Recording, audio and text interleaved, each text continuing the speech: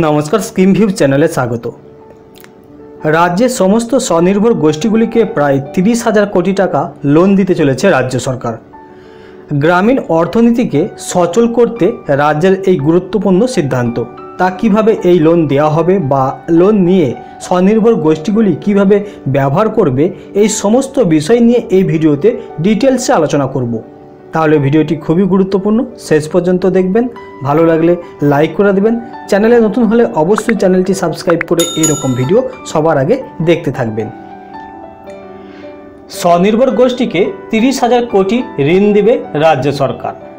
একশো দিনের কাজ, আবাস যোজনার টাকা দীর্ঘদিন ধরে আটকে রেখেছে কেন্দ্রীয় সরকার। ফলে চরম ধাক্কার মুখে গ্রাম বাংলার অর্থনীতি। এই পরিস্থিতিতে গ্রামীণ অর্থ ব্যবস্থাকে সচল রাখতে রাজ্যের বাজি স্বনির্ভর গোষ্ঠীগুলি। তাই নতুন অর্থবর্ষে তাদের ঋণ প্রদানের অঙ্কটা স্থির করেও ফের বৃদ্ধি করল পঞ্চায়েত দপ্তর। সেটা এক লপ্তে অনেকটাই। সূত্রের খবর, নতুন তথা সংশোধিত টার্গেট তিরিশ হাজার কোটি টাকা। এই বিপুল পরিমাণ অর্থ ঋণ হিসাবে পাবে স্বনির্ভর গোষ্ঠীগুলি। জেলাগুলিকে নিজ নিজ লক্ষ্যমাত্রা জানিয়ে দিয়েছে নবান্ন।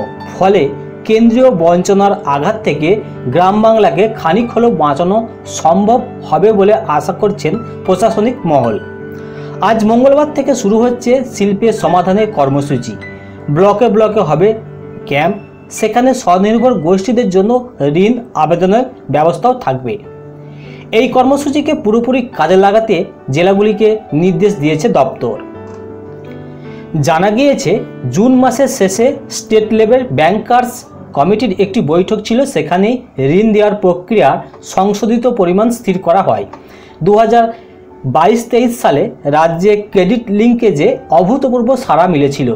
কুড়ি হাজার কোটি টাকা ঋণের মাইল ফলকও স্পর্শ করে জেলাগুলি। তাই নয়া অর্থবর্ষ শুরু হতেই একুশ হাজার কোটি ঋণ প্রদানের লক্ষ্যমাত্রা রাখা হয়।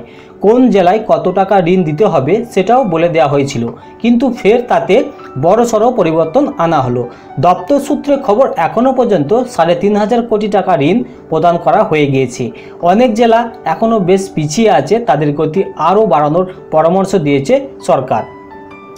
এই মুহূর্তে ক্রেডিট লিঙ্কেজে দেশে ষষ্ঠ স্থানে রয়েছে বাংলা, কেরল, কর্ণাটক, তেলেঙ্গানা, অন্ধ্রপ্রদেশের মতো রাজ্যে স্বনির্ভর গোষ্ঠীগুলিকে বার্ষিক ঋণ প্রদানের পরিমাণ অনেকটাই বেশি।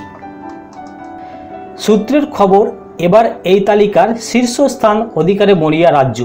সেই কারণেই লক্ষ্যমাত্রা বৃদ্ধির এই সিদ্ধান্ত। এর ফলে প্রতিটি স্বনির্ভর গোষ্ঠীকে বার্ষিক ঋণ প্রদানের পরিমাণও অনেকটা বেড়ে যাবে বলেই মনে করা হচ্ছে।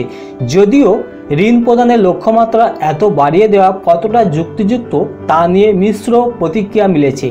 যদিও সরকারের আশা এর মাধ্যমে একদিকে মহিলাদের স্বনির্ভরতা বাড়বে, অন্যদিকে অর্থনৈতিক উন্নতিও ঘটবে। তবে এক ধাক্কায় এত টাকা ঋণ দেওয়ার চাপ জেলাগুলি কতটা নিতে পারবে তা নিয়ে চর্চা শুরু হয়েছে।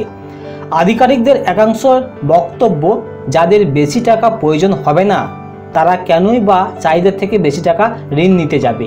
এর পাল্টা যুক্তিও রয়েছে সরকারি মহলে। কারণ পূর্বে বেশ কিছু জেলায় দেখা গিয়েছে, লক্ষ্যমাত্রা বেঁধে দেওয়ার ফলে বড় স্বনির্ভর গোষ্ঠীগুলি নির্দিষ্ট টাকার বেশি নিতে পারেননি। এবার তারা লাভবানও হতে চলেছে।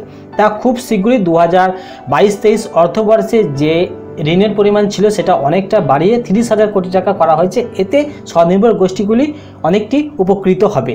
তা আশা করি ভিডিওটি ভালো লেগেছে। ভালো লাগলে অবশ্যই লাইক করে দেবেন। তা আজকের ভিডিও আপাতত এখন পর্যন্তই। সকলে ভালো থাকবেন। নমস্কার।